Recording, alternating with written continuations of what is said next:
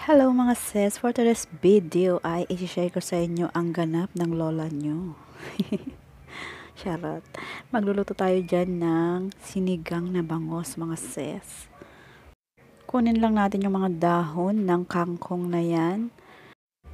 Tapos ay handa na din natin yung mga ibang ating ingredients na gagamitin. Ayan, meron tayong labanos dyan, balatan lang natin mga sis. Kayo mga sis, ganito rin ba kayo mag-prepare ng mga uulamin nyo? Pasensya na, makalat.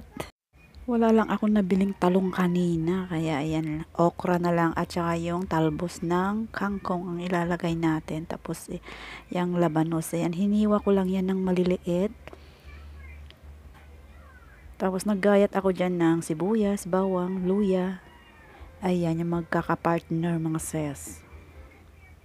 After ko nga magayat-gayat yung ating mga rekado ay inilagay ko na doon sa pakukuluan natin tubig. Ito yung magsisilbing sabaw ng ating sinigang mga ses. At habang nagluluto tayo ay samantalayin na natin ng magbalnaw kasi meron akong winashing dito na continuation nilabhan ko kahapon.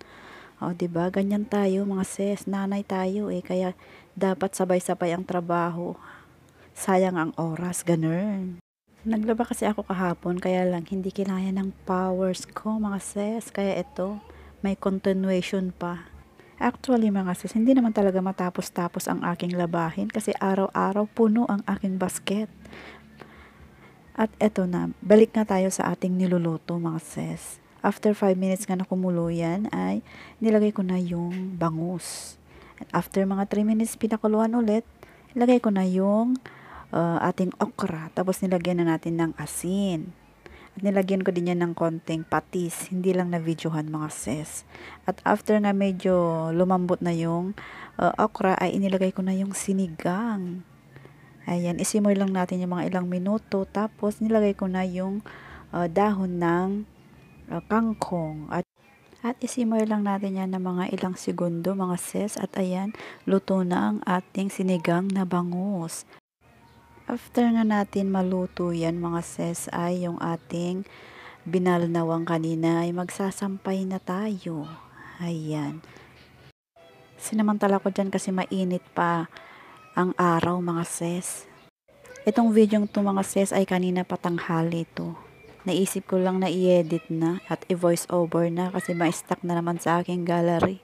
Ang aking gallery naman po ay, Diyos ko po, Puro punong-puno na mga sis. Lagi na lang full storage ang aking gallery. Ewan ko bakit. Nag-delete naman ako ng delete yung mga iba kong videos. Pero lalabas pa rin full storage kaya nakakainis. Suggest nga kayo mga sis kung anong gagawin ko dito sa aking storage. Ano ba dapat kong linisin dito? Kasi inis na inis na ako. At eto na nga, ang aking nilabhan. O ba diba, Pati gate namin punong-puno na ng labahin ko. At ayan, eto na nga, kakain na tayo. Kakain na ang first son. At ayun, aling maliit ko, ang aking bunso. Siya na ang nangunguna sa lamesa. At yun lang muna for today's video mga sis. Babu!